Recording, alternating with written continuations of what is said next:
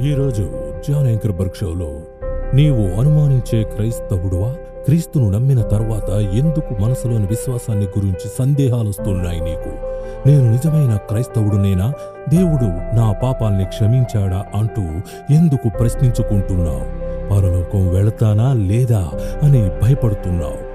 ఎందుకు నీకీ అనుమానాలు? అవిశ్వాసపు ఆలోచనల్ని జయించేందుకు వాక్యానుసారమైన మార్గం ఉందా? అనుమానాలన్నిటినీ తొలగించుకోగలమా? ఈనాటి అతిథి డాక్టర్ గ్యారీ హ్యాబర్మాస్ లీంచ్బర్గ్ వర్జీనియాలోని లిబర్టీ యూనివర్సిటీలో ఫిలాసఫీ థియలాజీ విభాగానికి చైర్మన్గా ఉన్నారు. అనుమానాన్ని గురించిన థామస్ ఫ్యాక్టర్తో పాటు ఇరవై ఒక్క పుస్తకాన్ని రాశారు. మీరు మాతో కలుసుకోండి. ప్రోగ్రాంకి ఆహ్వానిస్తున్నాం. క్రైస్తవులైన మీరు రక్షణ గురించి దేవునితో మీకున్న సంబంధాన్ని గురించి అనుమానిస్తున్నారా? విషాదాల్లో నిరాశల్లో దేవుడెక్కడున్నాడని ఆలోచిస్తున్నారా? మీలో కొందరు ఏళ్ళ తరబడి సందేహాలతో సతమతమవుతున్నారు. ఎందుకని? మీరే ఈ సంగతి చెప్పారు. ఇతర క్రైస్తవులకు కలుగుతున్న సంతోషం మీకు కలుగుతుందనే ఆశను దాదాపు వదులుకున్నారు. దేవుని బిడ్డలకు శాంతి సమాధానాలుంటాయని బైబిల్ చెబుతున్నది. మీకెందుకు అవి లేవు? అయితే రకరకాల సందేహాలున్నాయనే సంగతిని గ్రహించాలి. అయితే సందేహాలన్నిటిలో మనల్ని కృంగదీసి నాశనం చేసే మానసిక సందేహం భయంకరమైనది. ఇది క్రీస్తుతో మనకున్న సందేహాన్ని తొంగిలిస్తుంది. ఆరాధనకు అడ్డం పడి అపరాధ భావాన్ని కలిగించి మీరు దేవుని వద్దకెళ్ళకుండా అడ్డుకుంటుంది. దేవునితో మాట్లాడినప్పుడు జవాబివ్వడం లేదని అనిపిస్తుంది. సరే డాక్టర్ గ్యారీ హ్యాబర్మస్ ఈరోజు మన అతిథి ఈ అంశాన్ని గురించి వివరిస్తారు. సందేహ ప్రాణులతోటి ప్రోగ్రాంను ప్రారంభిద్దాం. గత వారపు అంశాలను క్లుప్తంగా చెప్పి అనుమానం గురించిన అపోహలను వివరించి చెప్పండి. ఏమిటవి? మొదటిది ముందు మాటగా చెప్తున్నాను. ఈ అంశంలో ఉన్నన్ని మెలికలు మలుపులు మరే అంశంలోనూ లేవు. క్రైస్తవులు మామూలుగా చెప్పే మాట అబద్ధం కాదు. ఇది బాధను కలిగిస్తుంది. అనుమానాన్ని గురించిన ప్రజల అభిప్రాయాలు చెప్తున్నాను. అవన్నీ కూడా పొరపాటే. అనుమానం తెలివిగల వారికే వస్తుంటుంది. అనుమానం ఎల్లప్పుడూ ఒకే దారిలో నడుస్తూ ఉంటుంది. దాన్ని సదా ఒకే రకమైన పద్ధతుల్లో జయించాలి. అనుమానం ఒక పాపం దానిలో ఎలాంటి మేలు కలగదు. అనుమానం అనేది క్షమించరాని నేరం. విశ్వాసులు ఎన్నడూ అనుమానించరు. బలహీన మనస్కులు మాత్రమే అనుమానిస్తారు. నిజమైన క్రైస్తవులు అనుమానించరు. ఇలాంటి అనేక సంగతులున్నాయి. లేదా మీరు ప్రశ్నలు వేస్తుంటే నరకానికి వెళ్ళాల్సొస్తుందని అంటూ ఉంటారు. గతంలో ఒక యువతి నాకు నా విశ్వాసాన్ని గురించి అనుమానాలొస్తున్నాయని స్నేహితులతో చెప్పిన సంగతి నాకు జ్ఞాపకం ఉంది నిజమైన క్రైస్తవులకు ఎన్నడూ అనుమానాలు కలగవని ఆమె స్నేహితురాలు చెప్పిన తర్వాతనే ఈ మాట అంది తనకు రక్షణ కలగలేదనే సూచనకు విన్న వెంటనే తలకిందులైపోయింది చాలా బాధపడింది. పదే పదే అదే విషయం గురించి మదన పడుతూనే ఉంది. నిజానికి అది తప్పు.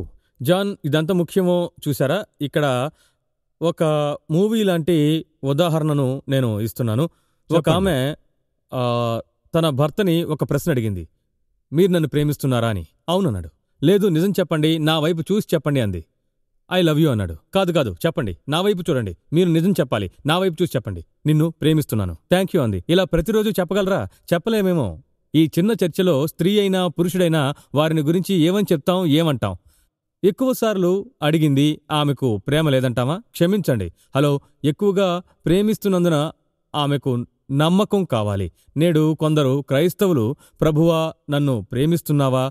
చెప్పమని అడుగుతూనే ఉన్నారు. మనం ఏమంటున్నాం? వారికి విశ్వాసం లేదు ప్రేమ లేదు అంటున్నాం. ఇక్కడ ఆసక్తికరమైన చాలా పెద్ద మలుపు ఉంది. భావావేశపరంగా సందేహించే వ్యక్తి ఇతన్ని గురించి మేము గత కార్యక్రమంలో వివరంగా చెప్పాం. వీరి సందేహం వీరు చెప్పే మాటలకు పూర్తిగా వ్యతిరేకంగా కూడా ఉండవచ్చు. నిరంతరం ప్రశ్నలు అడిగే వ్యక్తి ప్రభువును అధికంగా ప్రేమిస్తుంటాడని నేనంటాను అయితే ఈనాడు ప్రపంచంలో కొందరు ముఖ్యంగా వీరి నుండి గౌరవాన్ని అందుకుంటున్నవారు ఇలా ప్రశ్నిస్తున్నారంటే మీరు రక్షింపబడలేదు అన్న మాట అంటున్నారు. మీ జీవిత భాగస్వామి వ్యభిచరిస్తుందనడం లాంటిదే ఇది. దీనివల్ల అనౌక్యత కలుగుతుంది. జీవిత భాగస్వామికి నమ్మకం కలిగించదలిచినప్పుడు మనం ఇలాంటి మాటలు అసలు చెప్పం. అటువంటివి మనసుకు సంబంధించినవి. వాటి గురించి మనం పదే పదే మాట్లాడకూడదు.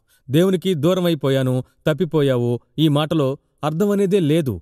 మానసికంగా అనుమానించే సరాసరి వ్యక్తి ప్రభువుని అమితంగా ప్రేమిస్తూ ఆయన ప్రేమను కోరుకుంటున్నాడని నేను తలుస్తున్నాను. ఇక్కడొక శుభవార్త. ఆ ప్రేమ వారికి దొరికింది లభించింది. కనుక దాన్ని మార్చి చెప్పుకోవడమే దీనిలోని కీలకం. ఈ సంగతులన్నిటినీ ప్రజలు లోతుగా తెలుసుకోవాలనుకుంటున్నారు. దేశవ్యాప్తంగా మీరు కలుసుకున్న ఇతరుల కథలను కూడా చెప్పండి. అయితే వారి పేర్లను మార్చి చెప్పాలి. వారికి ఏం జరిగిందో చెప్పండి. అలాగే. అతను బాధితుడు కానట్టయితే ఇది మీకు తమాషా కథలాగా ఉంటుంది. వాయువ్య ప్రాంతం నుంచి నాకొకతను ఫోన్ చేసి తన సమస్యని గురించి చెప్పాడు. నేను రక్షింపబడ్డానో లేదో నాకు తెలియాలి అన్నాడు. ఇక్కడ నేనొక ప్రముఖ చర్చికి క్రమంగా వెళ్తున్నాను. నేను మా పాస్టర్ పేరు చెప్తే మీరు ఒక్క క్షణంలో గుర్తుపట్టగలరు. నేను మీతో మాట్లాడానని చెప్తే జాన్ చాలా మంచివాడు అతనికి సందేహాలు లేవని ఆ పాస్టర్ గారు చెప్తారు. అయితే నాకు చాలా సందేహాలున్నాయి. నేను రక్షణ పొందలేదు. కనుక నేను అతన్ని ప్రశ్నించినప్పుడు అతడు ఆశ్చర్యంతో ఇదిగో ఒక్క నిమిషం నిన్ను హెచ్చరిస్తున్నాను నన్ను భావావేశపరంగా అనుమానిస్తున్నాను అనకండి అన్నాడు. దీని గురించి చాలాసేపు మాట్లాడాం. మనసులో భావావేశం అని అనుకున్నాను. ఆ తర్వాత నాకిలాంటివి చెప్పకండి మరొక సంగతి వినండి ప్రార్థించి బైబిల్ చదవమనకండి అని అందరూ చెప్తున్నారు. ఏం చెయ్యాలో ఖచ్చితంగా చెప్పండి అన్నాడు. ముఖ్యంగా చెయ్యాల్సిన పని గురించి చెప్పాను. జాన్ మీరు క్రీస్తును సొంత రక్షకునిగా అంగీకరించారా? ఆయన ఏం చేశాడో తెలుసా? అన్నాను. ఇదిగో నేను లెక్క చెప్తున్నాను. కనీసం ఐదు వేల సార్లు క్రీస్తును అంగీకరించానని అతను చెప్పాడు. ఎలా అంగీకరించాడో కూడా చెప్పాడు. అన్నిసార్లు అతను అంగీకరించాడు. ఇక్కడొక ప్రశ్న ఉంది. ఐదు వేల సార్లు క్రీస్తును అంగీకరించడానికి ఎంత కష్టాన్ని భరించాలి? అతనిలా అన్నాడు. చూడండి శుక్రవారం మధ్యాహ్నం ఫోన్ చేసి నేను మీతో మాట్లాడొచ్చా? అని అడిగాడు. మీకు డబ్బులిస్తాను అన్నాడు. నాకు డబ్బు వద్దని చెప్పాను. డబ్బు తీసుకోకుంటే మాట్లాడను అని చెప్పాడు. అలా అయితే మనం మాట్లాడుకోలేము అన్నాను. నాకు అలా చెప్పకండి ఇలా చెప్పకండి అని చాలాసార్లు అనేవాడు.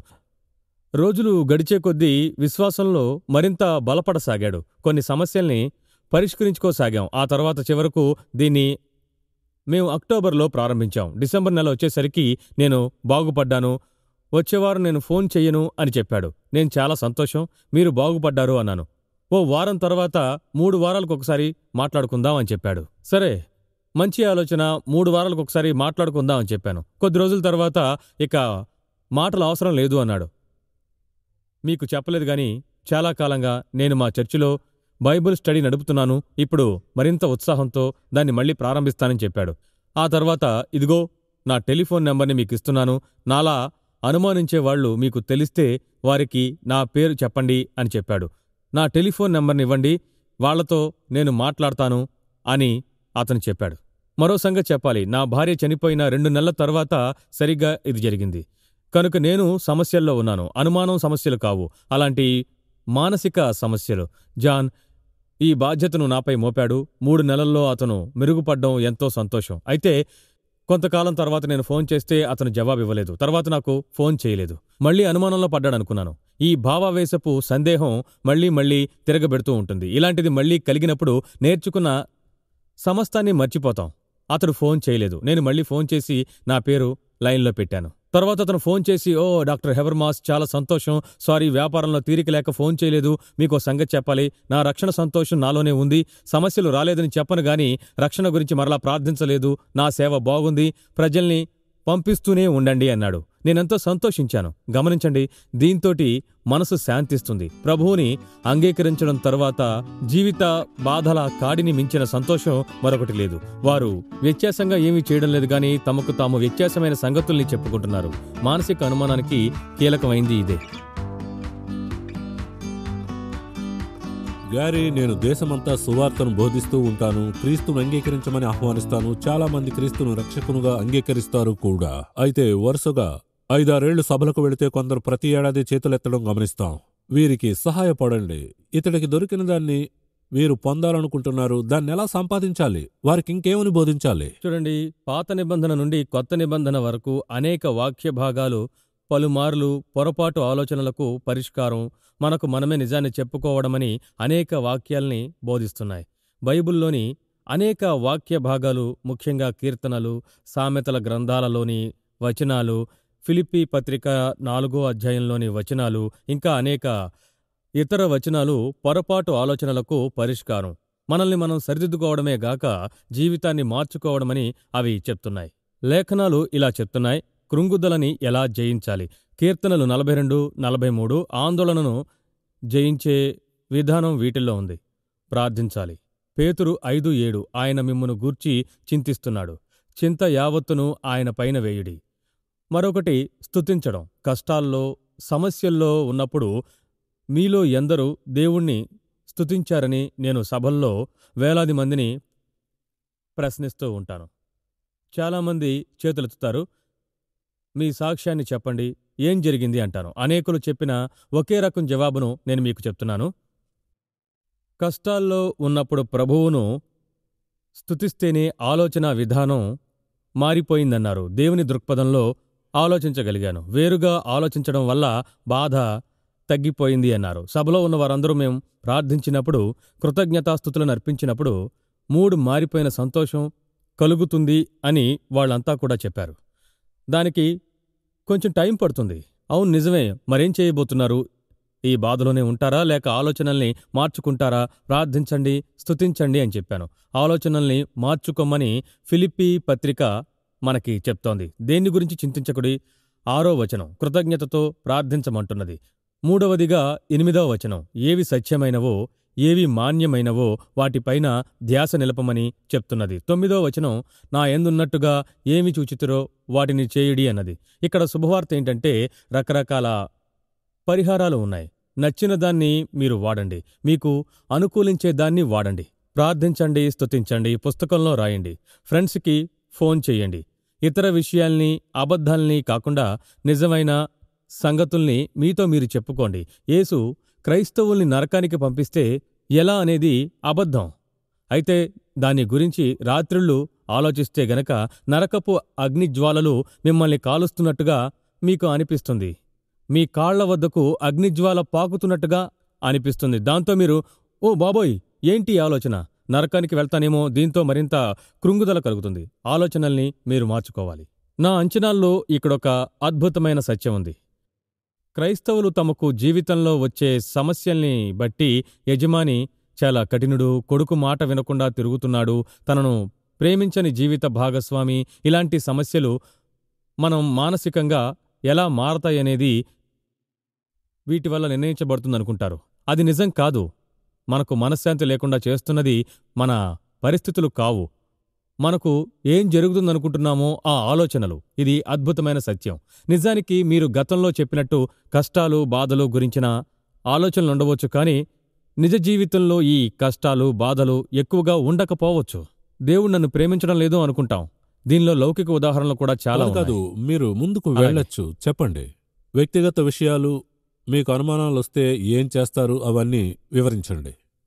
అది చాలా నెమ్మదిగా ఎందుకంటే నేను చాలా పొరపాటుగా ఆలోచించాను. క్రైస్తవ సమర్థన వాదం మంచిదనుకుంటూ మానసిక సందేహాలకు జవాబు మరిన్ని వాస్తవాలు మరో పుస్తకం చదివితే చాలు అన్నాను.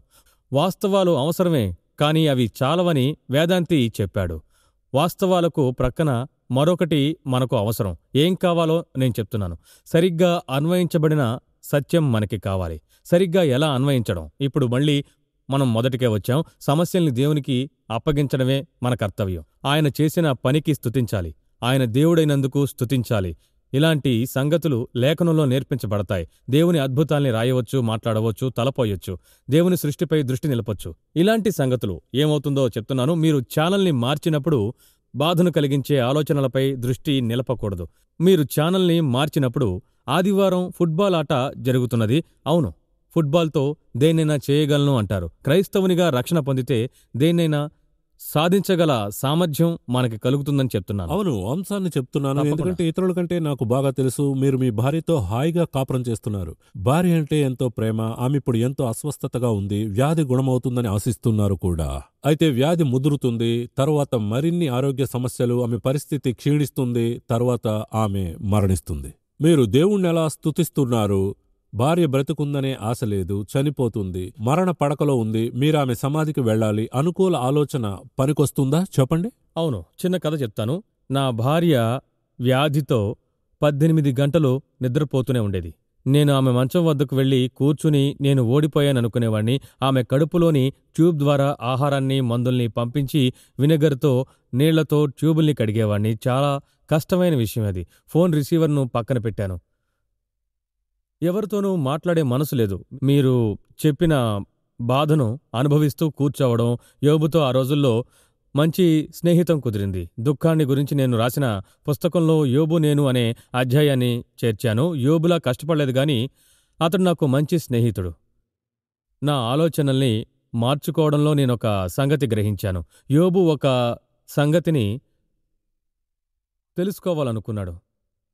దేవా నా పిల్లల్ని ఆరోగ్యాన్ని తీసుకున్నావు ఎందుకు నాకు కష్టం అని? దేవుడు సమాధానం చెప్పలేదు. ముప్పై ఏడు అధ్యాయాలు ఇలా మదనపడ్డాడు అతడి విధంగా ప్రశ్నిస్తున్నాడు. దేవుడు అతడితో మాట్లాడాడు. ఈ పుస్తకం చివరిలో ఆశీర్వాదానికి ముందు యోబు ప్రభువుని ప్రశ్నించలేదు. తనకు తృప్తి కలిగిందని చెప్పాడు. ఇక్కడ ఒక ప్రశ్న. తన ప్రశ్నకు జవాబు రాకముందే యోబుకు ఎందుకు తృప్తి కలిగింది? యోబు గ్రంథంలో దీనికి జవాబుగా ఒకే ఒక వాక్యం ఉంది. మనకు తెలియని సంగతుల్ని నమ్మడానికి తగినంతగా తనకు దేవుణ్ణి గురించి తెలుసు అని చెప్పాడు. ఇక్కడ గ్యారీ హెబర్మాస్ ఉన్నాడు. పంతొమ్మిది వందల తొంభై ఐదు ముప్పై ఎనిమిదిలో యోబుని ఊహించాను. అందరిలోనూ ఒక్కొక్క రకమైన యోబు ఉంటాడు. నేను దేవునితో ఈ విధంగా చెప్పాననుకోండి ఎందుకు నలభై మూడేళ్ళ డెబీ చనిపోతున్నది? నాకు పిల్లలున్నారు నాకు వంట పని గాని ఇంటి పని గాని ఏదీ సరిగ్గా చేయడం చేత కాదు. నేను పిల్లలకు స్నానం చేయించి బట్టలు తొడిగి స్కూల్కి పంపించాలి. దేవుడు గ్యారీ నిన్నొక ప్రశ్న అడుగుతున్నాను. నా కుమారుణ్ణి మృతుల్లోంచి లేపానా అన్నాడు. ప్రభువు ఈ అంశంపై చాలా పుస్తకాలు రాశాను. మీ మాట నిజమే. నీవు యేసును మృతుల్లోంచి లేపావు. అయితే అది ముప్పై ఏడి తొంభై ఐదు సంగతి చెప్పు. నా భార్య కష్టపడుతున్నది. ఏం చేయాలి అన్నాను. గ్యారీ నీకు అంశం అర్థం కాలేదు. నీ సుతుడిని మృతుల్లోంచి లేపానా? లేపావు. అయితే పంతొమ్మిది వందల తొంభై ఐదు సంగతి చెప్పు. గ్యారీ ఆయన నొక్కి చెప్తున్నాడు. ఆయన స్వరం పెద్దదయింది. ఎందుకు? అని నేను పదే పదే అడగడంతో ఆయనను చొక్కా పట్టుకుని లాగి నీకు పిహెచ్డి ఉంది అయినా మందమతివి నెమ్మదిగా చెప్తాను. నా పెదాల్ని గమనించు సరేనా? నా కుమారుణ్ణి మృతుల్లో నుండి లేపానా? అన్నాడు. దీనికి యోబుకు సంబంధం ఏమిటనుకున్నాను? కీలకాంశం ఇది. దేవుడు తన కుమారుణ్ణి మృతుల్లోంచి లేపినట్టయితే ముప్పై ఏడి లేదా పంతొమ్మిది వందల తొంభై ఐదు లేదా రెండు వేల మూడు బాధలకు కష్టాలన్నిటికీ జవాబు ఈ లోకంలోనే ఉంది. దానికి జవాబు నాకు తెలియకపోవచ్చు గాని ఈ లోకంలోనే నేను దానికి జవాబు ఉన్నదన్న విషయాన్ని గ్రహించగలిగాను. గమనించండి పరిస్థితులు మారలేదు. ఆమె వ్యాధితో బాధపడుతూనే ఉంది. అయితే నా ఆలోచనల్ని మాత్రం మార్చుకున్నాను. ఇక్కడ ఉపసంహరణ ఏమీ లేదు. పునరుద్ధానం లేకుంటే ఉపసంహరణ ఉంటుంది. పునరుద్ధానం ఉన్నందున దేవునికి ఒక కారణం ఉంది. ఒకే ఒక అంశం సరిగ్గా అతకలేదు ఆమె ఎందుకు మంచాన పడిందో తెలీదు. తెలిసినా ఆమె చనిపోతే పరిస్థితి ఎలా మారిపోతుంది? కనుక నేను ఒక ఆలోచన విధానాన్ని మార్చుకున్నాను. నాకిది నచ్చలేదు. ఆమెపై నాకు పిచ్చి ప్రేమ. అయితే ఆమె ఇప్పుడు చనిపోతున్నది. ఈ లోకాన్ని దేవుడే నడిపిస్తున్నాడని తలంచాను. తన కుమారుణ్ణి ఆయన మృతుల్లోంచి సజీవునిగా లేపాడు. నాకు తెలియకపోయినా ఈ కష్టాలకు ఒక కారణం ఉందనుకున్నాను. జవాబుకే జవాబు మొదటి కొరింది పదిహేనులో ఉంది. పౌలు మరణాన్ని నిలదీశాడు. మరణమా విజయమెక్కడా? మరణమా నీ ముల్లు ఎక్కడా? ఒకటి కొరింది పదిహేను యాభై ఐదు దీనిలో ఒక మంచి అంశం ఉందనుకున్నాను. ఆమె పరలోకం వెళ్తోంది. నేను నా పిల్లలకు ఇలా చెప్పి ఓదారుస్తున్నాను. మీ కొరకు ఏడవండి. అమ్మ కొరకు ఏడవకండి. ఆమె తిరిగి రాగలదు గాని రాదు అని చెప్పాను. అయితే ఆమె ఇప్పుడు కష్టపడ్డం లేదు. ఆమె నా పక్కన లేదనేదే పెద్ద లోపం. ఆమె క్షేమంగా ఉన్నది. నేను నిత్యంలో ఆమెతో ఉంటాను. ఆమెకి ఏ అపాయమూ లేదు. చిమ్మెటయు తుప్పైనను తినలేదు. దొంగలు దొంగిలించలేరు. మత్తై ఆరు ఇరవై. దీన్ని నేను కోరుకోలేదు. అయితే కీలకాంశం ఇది. దేవుడు తన కుమారుణ్ణి మృతుల్లోంచి లేపినట్టయితే నాకు తెలియకపోయినా ఈ కష్టాలకు ఒక కారణం ఉంది. దీన్ని యోబుతోటి కలిపాను. నాకు తెలియని సంగతుల్లో కూడా దేవుణ్ణి నేను నమ్మగలను. నేను లోకంలో ఉన్న దేనిని మార్చలేదు. ఏ ప్రశ్నలకు సమాధానం ఇవ్వలేదు. కేవలం నా ఆలోచన విధానాన్ని మార్చుకున్నాను. ఉన్నట్టుండి నాకప్పుడు దేవునిపై కోపం తగ్గిపోయింది. నా విద్యార్థి ఒకరు ఆ కాలంలో నాకు ఫోన్ చేసి యేసు పునరుద్ధానం లేకపోతే మీరెక్కడ ఉండి ఉంటారని అడిగాడు. చాలా మంచి ప్రశ్న. నిరీక్షణ లేనివారి వలె మీరు దుఃఖపడకూడదని ఒకటి తెసలోనికైలకు నాలుగు పదమూడు పౌలు చెప్పిన మాటకు నిజానికి అర్థం ఇదే. నిరీక్షణతోనూ అది లేకుండానూ దుఃఖపడ్డంలో వ్యత్యాసం ఉంది. కనుక నా మూడు కూడా మారిపోయింది. చాలా బాగుంది. చాలా బాగుంది. ఈ సంగతులు చాలా మందికి సహాయపడగలవు. వచ్చే వారం దీని గురించి మరింత లోతుగా మాట్లాడుకుందాం. నమ్మాలని ఉన్నది గాని నమ్మలేకున్నాను అని కొందరు అంటారు. అవునా? వచ్చే వారం చూడండి. ఈ కార్యక్రమాన్ని చూస్తున్నందుకు ధన్యవాదాలు. సందేహాలతో తమ రక్షణను గురించి ప్రశ్నిస్తున్న పలువురు విశ్వాసులతో నేను చాలా ఏళ్ళుగా మాట్లాడుతున్నాను. అయితే ఆదరణను శాంతిని పొందలేక కష్టపడుతున్నారు. ప్రేక్షకుల్లో పలువురు ఇదే విధంగా ఎంతో కష్టపడుతున్నారు. దాంట్లోంచి బయటపడేందుకు ఈ ప్రోగ్రాం సిద్ధపరిచాను. ఇంకా వాళ్ళ సమస్యల నుంచి వాళ్ళను బయటపడించేందుకే ఎంతగానో కృషి చేస్తున్నాం. గ్యారీ దీన్ని అనుభవించినందున అతన్ని ఎంచుకున్నామని ఇక్కడ చెప్తున్నాను. అనుమానాన్ని గురించి దాన్ని తొలగించేందుకునే పద్ధతుల్ని గురించి అతడు చెప్పగలడు. ఎన్నో సమస్యలను తీర్చగలడు కూడా. మీరు ఈ ప్రోగ్రాంను పూర్తిగా చూసి మీ మనసును హృదయాన్ని ఆలోచనల్ని దేవుని చిత్తానికి అన్వయించుకునేందుకు గ్యారీ ఇచ్చే సలహాలను పాటించమని చెప్తున్నాను. అనుమానం ఉన్నదని చింతించనక్కర్లేదు. దేవుడు మీ సందేహాల్ని తొలగిస్తాడు. అయితే తొలగించి మీకు ఎంతో ఆదరణను సంతోషాన్ని ఇవ్వాలని ఆశిస్తున్నాడు. ప్రియులారా క్షమాపణను పొంది దేవునితో నిత్యకాలం గడపగలమనే ఈ వాగ్దానం యేసు వలనే నెరవేరుతుంది. బైబిల్ చెబుతున్నది పాపం వలన వచ్చు జీతం మరణం. అయితే దేవుని కృపావం వల్ల క్రీస్తు యేసులో నిత్య జీవం రోమా ఆరు ఇరవై మూడు.